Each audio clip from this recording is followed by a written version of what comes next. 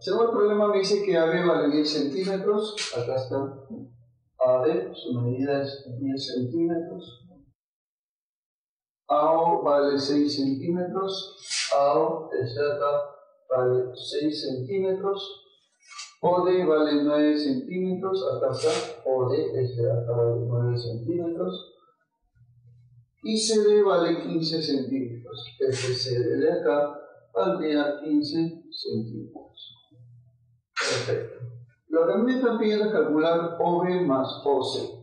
O sea, este OB más este OC.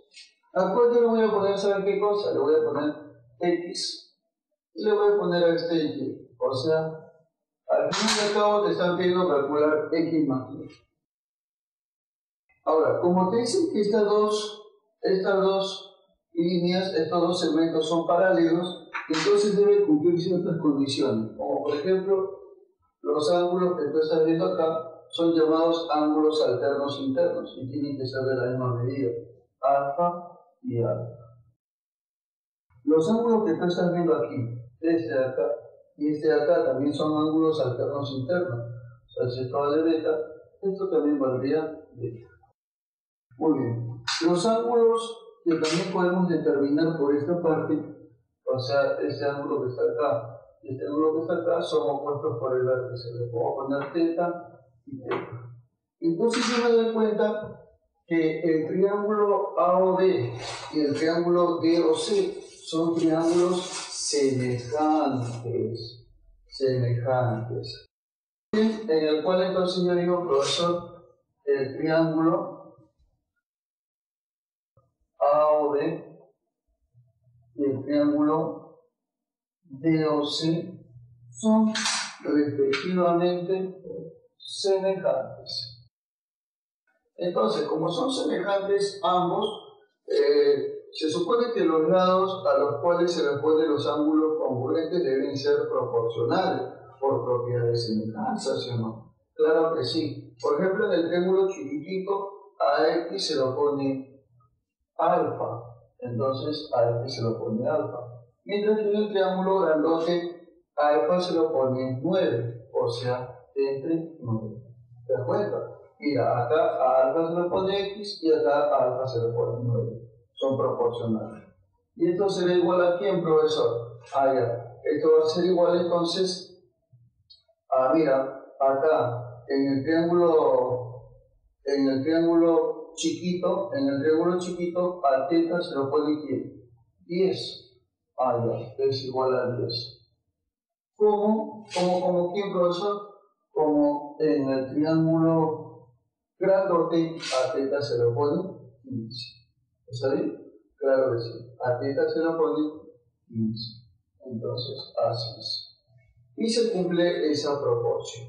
Muy bien, profesor. Entonces simplificamos simplificamos a gusto, ¿está bien? Sería entonces, profesor, acá, este, tercia 3, tercia 5. Entonces sería 10 entre 5, 2 por 3, 6. X valdría 6. Bueno, yo tengo mi primer resultado, entonces no, no me molesto porque ya salió este primer resultado que es el valor de X. Ahora me faltaría calcular el valor de Y. Y eso lo voy a hacer también con la semejanza de esos triángulos. Digo yo, mira, en el triángulo grandote, observa si no. A beta se lo pone Y, entonces Y se lo pone a beta. En el triángulo chiquitito, a beta se lo pone 6, a beta se lo pone 6. Muy bien, y eso va a ser igual, y eso va a ser igual, a ver, a ver qué más, qué más ya. A teta se lo pone 15 en el triángulo grandote. Entonces acá le voy a poner 15. Sobre, en el triángulo chiquitito, a teta se lo pone 10. A teta se lo pondrá 10. Ah, ya, mira, ¿te das cuenta? Así de simple, ¿no? Claro que sí. Entonces ya tenemos, ya tenemos esa relación y diremos, mira, vamos a sacarle todo lo que se pueda. Quinta, eh, 3, quinta, 2. Eh, mitad 1 mitad 3. Entonces este 3 pasa a multiplicar y y será igual a 3 por 3. ¿Cuánto es eso? Eso vale 9. Entonces yo ya sé que Y valdría 9. Claro que sí. ¿Te das cuenta? Recontra facilísima y sencilla. Entonces puedo decir yo, por lo tanto, por lo tanto, ¿qué cosa, profesor? X más Y sería la suma de 6 más 9. ¿Y eso cuánto es, profesor? Eso vale 15 centímetros. Eso, señoras y señores, déjenme decirles que es la famosísima RPTA de nuestro problema. O sea, la clave sería la de burrito.